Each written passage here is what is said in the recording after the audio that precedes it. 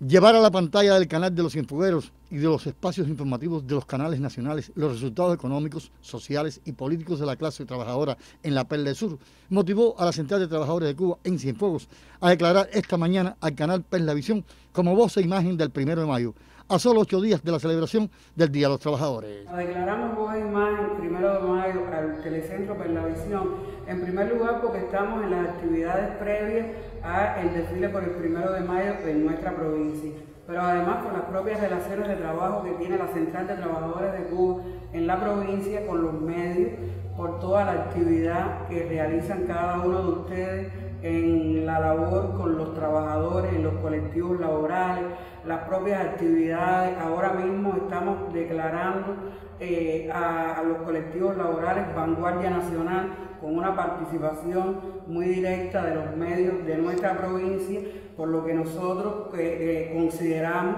que la labor desplegada por los medios en la provincia es meritoria de esta declaración que estamos el. El colectivo de trabajadores de Perlavisión mantendrá informado a los infogueros sobre los preparativos para este importante momento sindical.